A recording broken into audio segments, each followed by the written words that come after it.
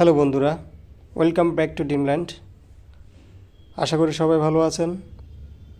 আলহামদুলিল্লাহ, আমার লাস্ট ভিডিওতে আমি বলেছিলাম আমার কাছে পনেরোটি ফাইল আছে।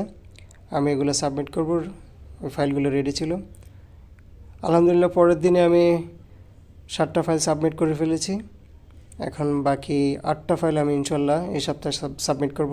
এই হচ্ছে এগুলো স্লিপ চারটা ফাইলের স্লিপ যেটা ডেলিভারি আমি নেক্সট উইক পেয়ে যাব ইনশাল্লাহ। আগামী সোমবার থেকে পাওয়া শুরু করব। দুটো, তিনটে করে হয়তো সবগুলো পেয়ে যেতে পারি।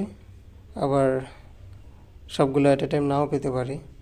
তো আমার সাতটা ফাইলের মধ্যে দুজনকে ইন্টারভিউ কল করেছে। দুজন ইন্টারভিউ দিয়ে দেওয়ার পরে তারপর ওনারা ভিসা পাবে।